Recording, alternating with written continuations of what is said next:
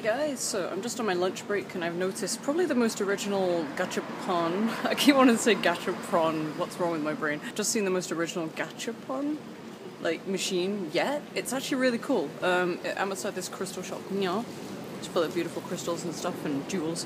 So it's actually a gachapon crystal machine. So let me just show you. So you can see here, like the gachapon deal.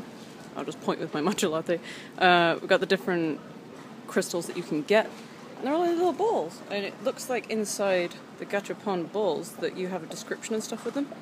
So this is 300 yen. So I'm gonna give it a go because I know a certain sibling of mine that would love something like this. So let's give it a try. Okay, so let's give this gachapon a try. 100 yen, 200 yen, and a 300 yen. And we give it a turn.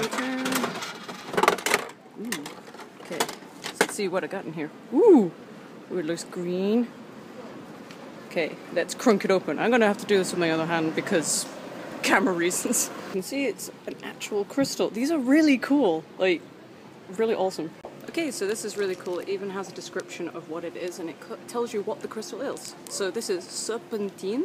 I had a bit of a problem trying to translate the katakana. There's also description of like what it does and where it comes from. I'm gonna probably read this when I open it and get back into the office. But this is really cool. So you get a real crystal and it's 300 yen.